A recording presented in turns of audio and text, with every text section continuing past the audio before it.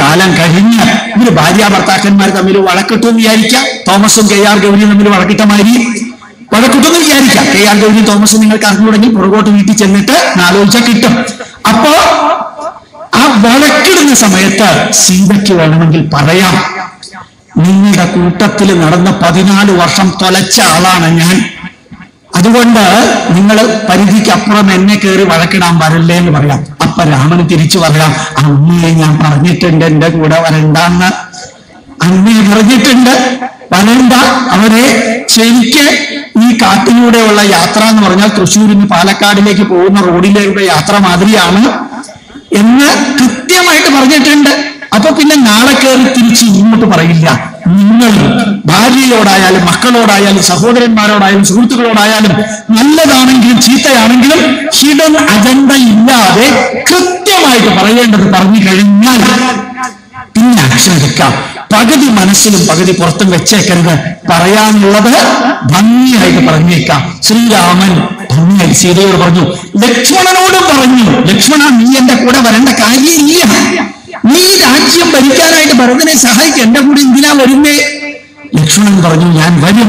ഇന്ത്യയെ അങ്ങനെ പറയിപ്പിച്ചത് പറയിപ്പിക്കാൻ ആഗ്രഹം ഉണ്ടെങ്കിൽ ഒറ്റ കാര്യം ഭാവിയിൽ തിരിച്ചു തന്റെ അനുജൻ പറയരുത്. ജ്യേഷ്ഠന് വേണ്ടി പന്ത്രണ്ട് വർഷം ഞാൻ തൊലച്ചു. എന്നിട്ട് ജ്യേഷ്ഠൻ എന്നോട് പോകാൻ പറഞ്ഞതിൽ എനിക്ക് ദുഃഖമുണ്ടെന്ന് പറയില്ല. പന്ത്രണ്ട് വർഷം പതിനാല് വർഷം എന്റെ കൂടെ വരാൻ ഞാൻ പറഞ്ഞിട്ടില്ല. വരണ്ടെന്ന് പറഞ്ഞിട്ടുണ്ട്. അതുകൊണ്ട് ഏത് വ്യക്തിക്ക് സഹായം കൊടുക്കുമ്പോഴും ഏത് വ്യക്തിയിൽ നിന്ന് സഹായം എടുക്കുമ്പോഴും പറയാനുള്ളത് ക്ലിയർ ആയിട്ട് പറഞ്ഞേക്കാം. പറയാനുള്ളത് ക്ലിയർ ആയി. ചിരിച്ചുകൊണ്ട് പറയണം. ചിരിച്ചുകൊണ്ട് പറയണം എന്ന് വെച്ചാൽ വെച്ചുകൊണ്ട് പറയണം എന്നല്ല. നല്ല ഭംഗിയായിട്ട് ചിരിച്ചുകൊണ്ട് ഈ കണ്ണൂർ വിമാനത്താവളം ഉദ്ഘാടനം ചെയ്ത സമയത്ത് ഒരാൾ ചിരിക്കുന്നുണ്ട്. അയാളുടെ ഫ്ലക്സാണ് കേരളം മുഴുവനും വെച്ചത്. അങ്ങനെയുള്ള ചിരിയല്ല. അത് വെച്ചുകൊണ്ടുള്ള ഒടുക്കത്തെ ചിരിയാണ് അപ്പൊ ഓർമ്മിക്കുക നല്ല ഭംഗിയായിട്ട് ചിരിച്ചുകൊണ്ട് ഇതൊക്കെയാണ് കാരണം ശ്രദ്ധിക്കുക എന്ന് പറയാൻ സാധിക്കണം. ആ ശ്രീരാമന് വേണ്ടി ലക്ഷ്മണൻ വാളൂരി അച്ഛനെ ഞാൻ ഇപ്പൊ തീർക്കാം എന്ന് പറഞ്ഞപ്പോഴത്തേക്കും രാമൻ പറയുന്നുണ്ട് അനുജ അനി താത മകനെ വികാരത്തിന്റെ പുറത്തല്ല പ്രതികരിക്കേണ്ടത്. വിചാരത്തിന്റെ പുറത്താണ് പ്രതികരിക്കേണ്ടത്. എന്നിട്ട് അവിടെ ഇരുന്ന് ലക്ഷ്മണോപദേശം കൊടുക്കുന്നുണ്ട് ലക്ഷ്മണന്. ശരിക്ക് രാമായണത്തിലെ മൂന്ന് ഉപദേശങ്ങൾ ഒന്ന് ലക്ഷ്മണോപദേശം രണ്ട് ഭരതോപദേശം മൂന്ന് വിഭീഷണോപദേശം അതൊന്ന് വായിക്കേണ്ടതാണ്. ശരിക്കും doctor A P J Abdul Kalam ഭരതോപദേശത്തിലൂടെയാണ് Pennsylvania യൂണിവേഴ്സിറ്റിയിലെ ഫെയിലിയർ മാനേജ്മെന്റ് സ്റ്റാർട്ട് ചെയ്തത്. പെൻസിൽവാനിയ യൂണിവേഴ്സിറ്റിയിൽ അവിടെ നിന്ന് നൂറ്റി എൺപത്തി മൂന്ന് യൂണിവേഴ്സിറ്റികളിലേക്ക് ടെലികാസ്റ്റ് ഉണ്ടായിരുന്നു. ഞാൻ യു എസിൽ ഉണ്ടായിരുന്നു.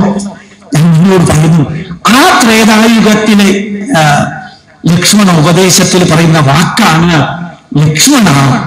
നമ്മൾ ചില കാര്യങ്ങൾ ഇതുപോലെ നടക്കും എന്ന് വിചാരിക്കുന്നു അതുപോലെ നടന്ന് ഒരു സ്ഥലത്തെത്തുമ്പോ പെട്ടെന്ന് അത് വേറൊരു ദിശയിലേക്ക് മാറിയാൽ എന്നിട്ട് പറയാം ഈ യുവരാജ പട്ടാഭിഷേകത്തിന് വേണ്ടി തയ്യാറാക്കിയ കലശജലം എന്റെ ശിരസിൽ ഒഴിക്കുന്നതിന് പകരം എന്റെ കാലിൽ എന്നെ വനവാസത്തിന് വിടാൻ അച്ഛൻ കൈകീയോട് പറഞ്ഞു എങ്കിൽ ഇതിന് പറയുന്ന പേരാണ് ഈശ്വരേച്ഛ ദൈവനിശ്ചയം വിധി ഡെസ്റ്റിനി നിയതി തലയിലേക്ക് ആ ഈശ്വരേച്ഛയെ കുറിച്ച് തന്നെയാണ്.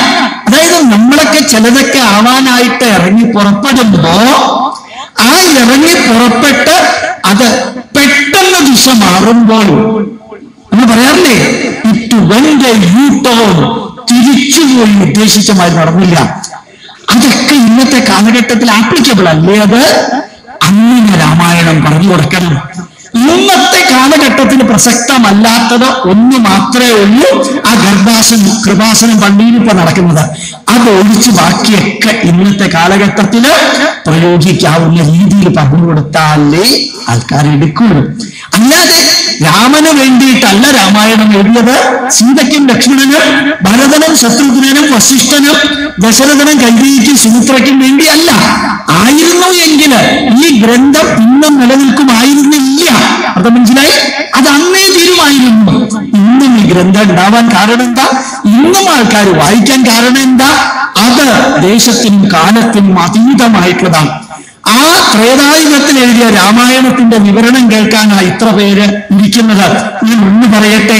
നാളെ അല്ലെങ്കിൽ ഇവരുടെ പ്രഭാഷണം കഴിഞ്ഞാൽ കൃത്യം ഏഴ് മണിക്ക് glimpses of the world history എന്ന ജവഹർലാൽ നെഹ്റു എന്ന വ്യക്തിയുടെ ആരോ പണ്ഡിറ്റ് എന്ന അറിയാതെ പേരും കൊടുത്തു.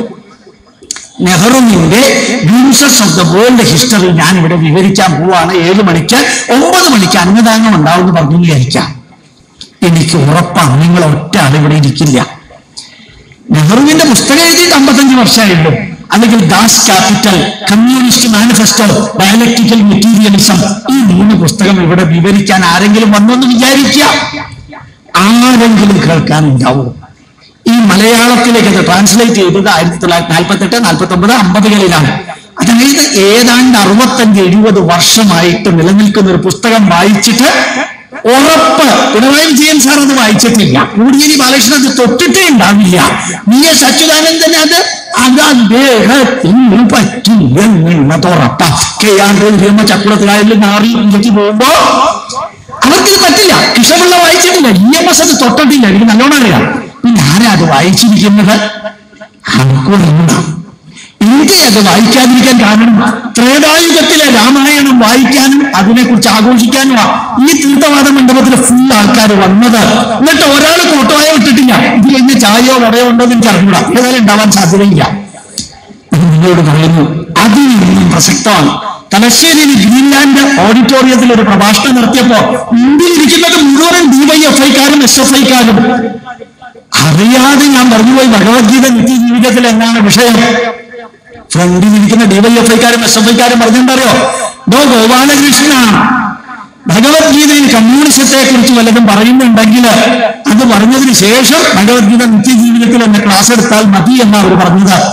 ഞാൻ പറഞ്ഞു മക്കൾ ഇരിക്കാൻ പറഞ്ഞു അമൃതാനന്ദമയി പറയണമാതിരി മക്കളിൽ ഇരുന്ന് എന്നിട്ട് ഞാൻ പറഞ്ഞു അസത്യം അപ്രതിഷ്ഠത്തെ ജഗദാഹുരമീശ്വരം അപരസ്പര സംഭൂതം കിമന്യ അസത്യം. ഈ ലോകത്തിൽ സത്യം എന്നുള്ളതില്ല അപ്രതിഷ്ഠം ധർമ്മം എന്നുള്ളതില്ല. ജഗത് അനീശ്വരം ആകൂ. ഈ ലോകത്തിൽ ഈശ്വരൻ എന്ന് പറയുന്നത് ഇല്ല അപരസ്പര സംഭൂതം വൈരുദ്ധാധിഷ്ഠിത ഭൗതികവാദത്തിൽ നിന്നാണ് ഇതെല്ലാം ഉണ്ടായത്. കിമന്യ കാമഹേതുകൻ മനുഷ്യന്റെ ആഗ്രഹങ്ങളും ആവശ്യങ്ങളും അല്ലാതെ ഈ ലോകത്തിൽ എന്താ ഉള്ളത് എന്ന് ഭഗവാൻ കൃഷ്ണൻ ഭഗവത്ഗീതയിൽ പതിനാലാം അധ്യായത്തിൽ ഇരുപത്തൊന്നാമത്തെ വരിയിലൂടെ പറഞ്ഞിട്ടുണ്ട്. ഇത്രയും ഞാൻ പറഞ്ഞു. ഇത്രയും പറയാൻ എത്ര സെക്കൻഡ് എടുത്ത് ഒന്നര മിനിറ്റ് വെച്ചാൽ ആ മുമ്പിൽ ഇരുന്നവര് അതിന്റെ മുമ്പിലുള്ള കസേരയിൽ കാലുവെച്ചതെല്ലാം താഴെ വെച്ച് രണ്ട് മണിക്കൂർ ഭഗവത്ഗീത മുഴുവനും കേട്ടോണ്ടിരുന്നു. അറിയാതെ അത് സംഘടിപ്പിച്ച വക്കീൽ അവർ സദസ്സിലുള്ളവരോട് പറഞ്ഞു ഗോപാലകൃഷ്ണന് ക്ഷയിക്കാൻ കൊടുക്കാൻ താല്പര്യമുള്ളവർക്ക് സ്റ്റേജിലേക്ക് വരാൻ ഈ ഡിവൈഎഫ്ഐയും എസ് എഫ് ഐയും കത്തിന്റെ അടാരയുണ്ടോ എനിക്ക് അറിഞ്ഞൂടാ ഇങ്ങനെ സ്റ്റേജിലേക്ക് കയറി വന്നപ്പോ ഞാൻ പറഞ്ഞു ജയലളിതയെ പോലെ അകത്തൊന്നുമില്ല. ആകെപ്പാടുകൂടി പന്ത്രണ്ട് രൂപയുടെ ബനിയൻ ഇരുപത്തെട്ട് രൂപയുടെ ഷർട്ടും മാത്രമേ ഉള്ളൂ. അപ്പോ ഈ ഈ കമ്മ്യൂണിസത്തെ കുറിച്ച് ചോദിച്ച യുവാക്കൾ പറഞ്ഞ വരി എന്താ അറിയോ? എന്റെ ഓട്ടോബയോഗ്രഫിയിൽ ഞാൻ എഴുതിയിട്ടുണ്ട്. അഞ്ചു കോളിയാണ് എന്റെ ഓട്ടോബയോഗ്രഫി എഴുതിയിട്ടുണ്ട്. ഗോപാലകൃഷ്ണൻ സാറേ അങ്ങയുടെ ജീവൻ ഞങ്ങളുടെ കയ്യിൽ സുരക്ഷിതമാണ്. അവർ പറഞ്ഞതാ അങ്ങയുടെ ജീവൻ ഞങ്ങളുടെ കയ്യിൽ സുരക്ഷിതമാണ്. ഒരു ശ്ലോകം കൊണ്ട് ഡിവൈഎഫ്ഐയും എസ് എഫ് ഐയെയും ഒക്കെ അന്ന് മെഴുകുതിരി മാതിരി മെൽട്ട് ചെയ്യാൻ സാധിക്കുമെങ്കിൽ നമ്മുടെ പൈതൃകത്തിൽ കപ്പാസിറ്റി ഉണ്ട് പക്ഷേ വിവരിച്ചു കൊടുക്കേണ്ടവർ വിവരിച്ചു കൊടുക്കുന്ന മാതിരി വിവരിച്ചു കൊടുക്കണം. നമ്മൾ പറയണം സുഖം ഒരു ബിന്ദു ദുഃഖം ഒരു ബിന്ദു ബിന്ദുവിൽ നിന്ന് ബിന്ദുവിലേക്ക് ഒരു പെന്തുലമാകുന്നു ജീവിതം അത് ജീവിതം.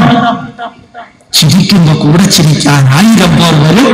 കരയുമ്പോ കൂടെ കരയാൻ നിന്റെ മകൻ പോലും വരില്ല എന്ന് അറ്റ്ലസ് രാമേന്ദ്രനോട് ചോദിച്ചാൽ മനസ്സിലാവും. അതാ സുഖം ഒരു നാൾ വരും വിരുന്നുകാരൻ ദുഃഖമോ പിരിയാത്ത സ്വന്തക്കാരൻ.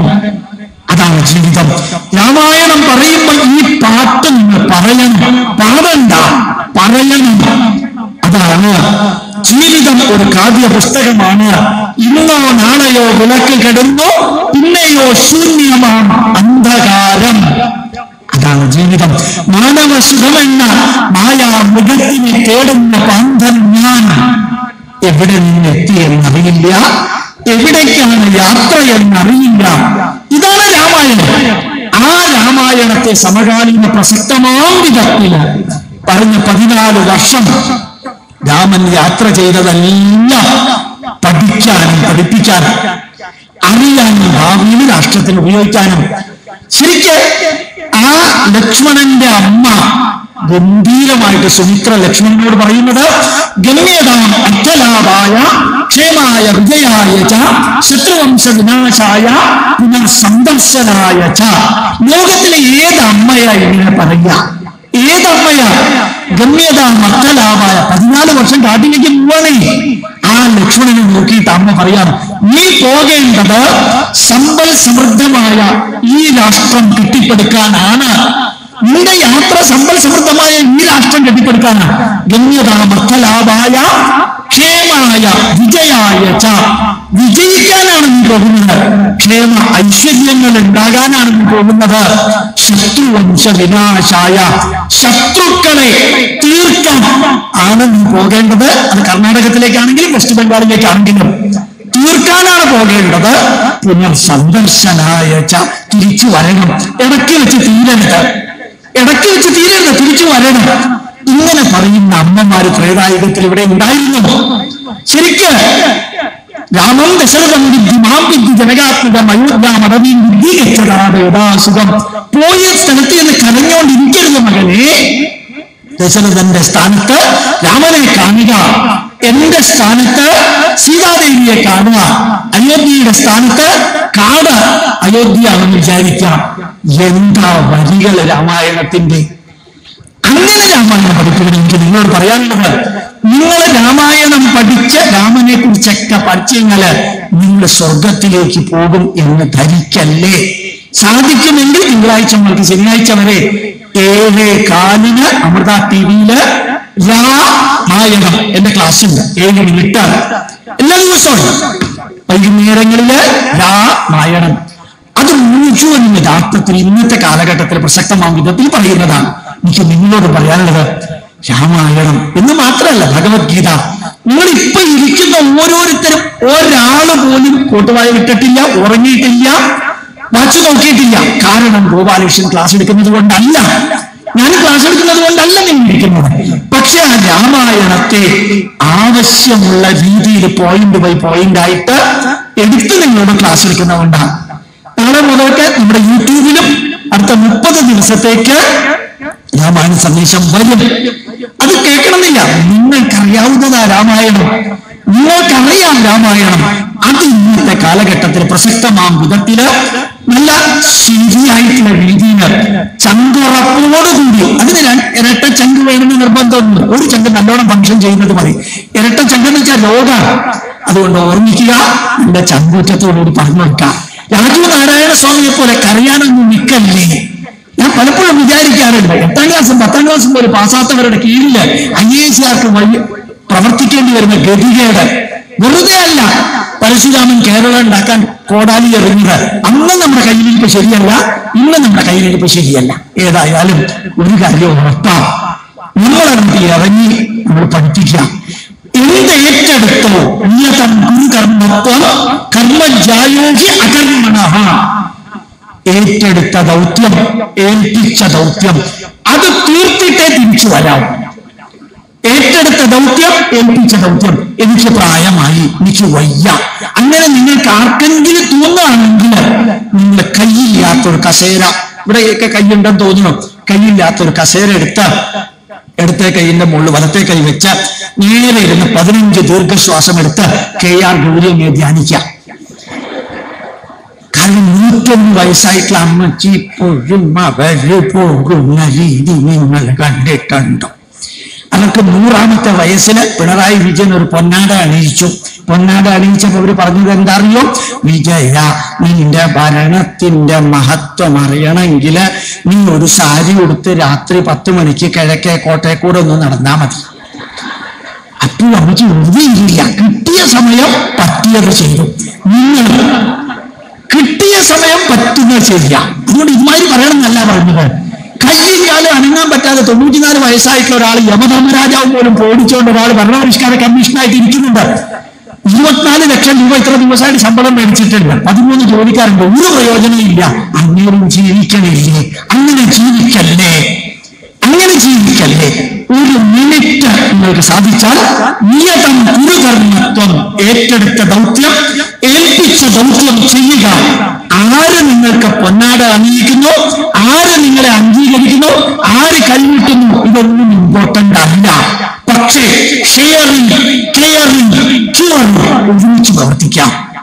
ഒരുമിച്ച് പ്രവർത്തിക്കാം. നിർമ്മമോ നിരഹങ്കാര ഞാൻ എന്ന ഭാവം ഒഴിവാക്കാം എന്റേത് എന്ന സ്വാർത്ഥത ഒഴിവാക്കാം ചുമ്മാ ആറാം തമ്പുരാന്റെ മോഹൻലാൽ മഞ്ജുവാര്യരോട് പറഞ്ഞ മാതിരി ചുമ്മാ അങ്ങോട്ട് പ്രവർത്തിച്ചുകൊണ്ട് പോവുക അതാണ് ജീവിതം.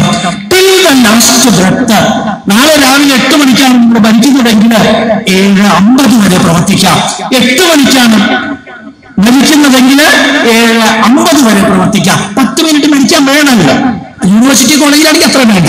അപ്പൊ ഓർമ്മിക്കുക നമുക്ക് പറ്റുന്നത് ചെയ്യണം. അതുകൊണ്ട് അയാളെന്ത് പറയുന്നു ഇയാളെന്ത് പറയുന്നു എന്നുള്ളതല്ല. അതും കേൾക്കണം.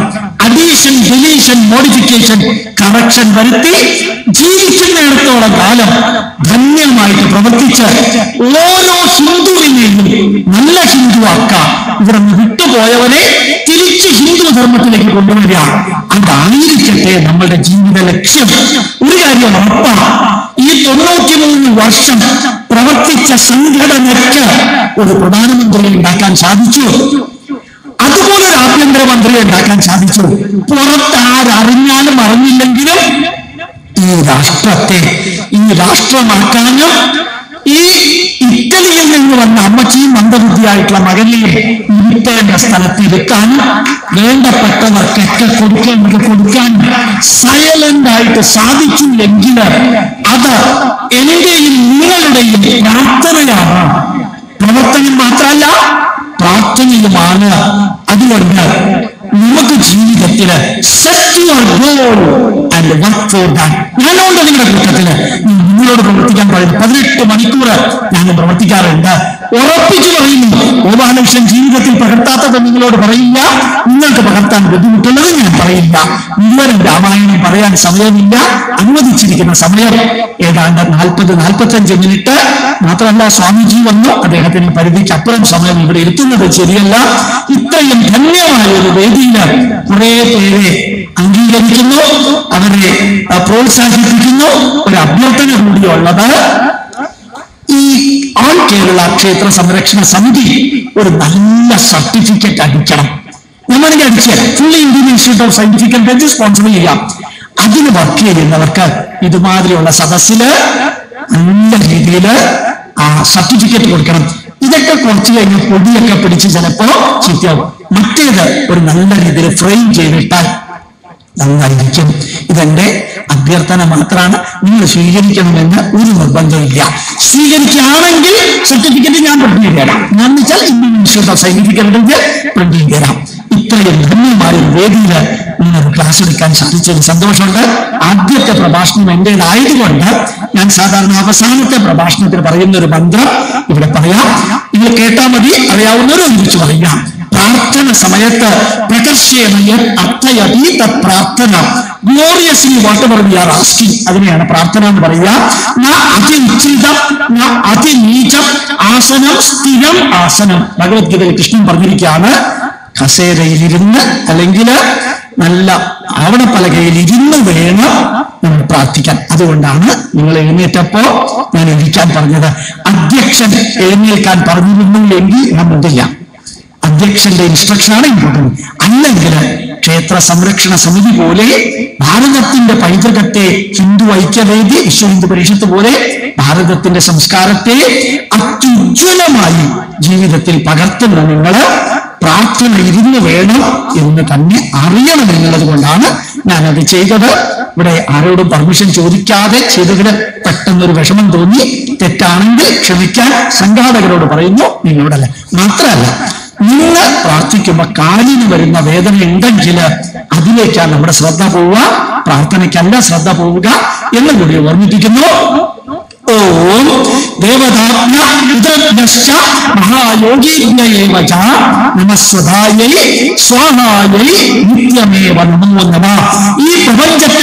നിയന്ത്രിക്കുന്ന മഹാ തേജസ്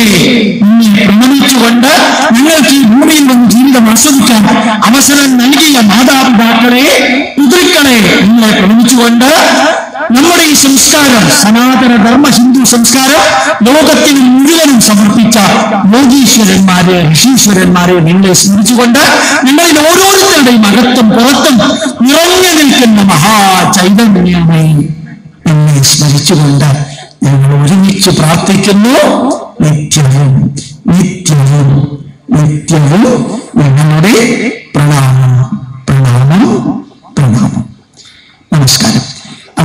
ഇന്ത്യൻ ഇൻസ്റ്റിറ്റ്യൂട്ട് ഓഫ് സയന്റിഫിക് ഹെറിറ്റേജിന്റെ ഒരു കലണ്ടർ ഉണ്ട്. അപ്പുറത്തും കലണ്ടർ ഉണ്ട്. ഏതായാലും മേടിക്കാം. ഒരു പത്ത് പതിനഞ്ച് മിനിറ്റ് കൂടി ആ കലണ്ടർ വെക്കുള്ളൂ.